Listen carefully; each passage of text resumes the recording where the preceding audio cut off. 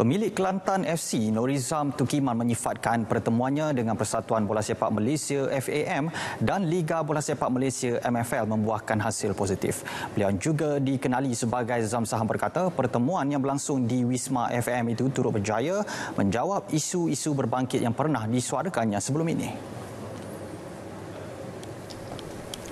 Menurut Norizam, fokus utama perbincangan yang berlangsung lebih satu jam itu banyak menyentuh tentang perjanjian yang terbentuk dengan pengurusan terdahulu Persatuan Bola Sepak Kelantan KAFA. Beliau yakin hasil perbincangan berkenaan bakal membawa kebaikan kepada pasukan Kelantan FC.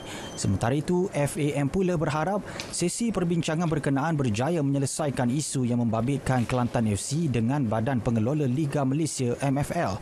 Pertemuan semalam dihadiri Timbalan Presiden FAM Datuk Muhammad Yusuf Yusuf Mahdi, Naib Presiden FAM merangkap Ketua Pegawai Eksekutif MFL, Datuk Abdul Ghani Hassan, Setiausaha Agung FAM Stuart Ramalinggam serta Norizam sendiri yang turut ditemani wakil dari KAFA Ahmad Muzakir Hamid.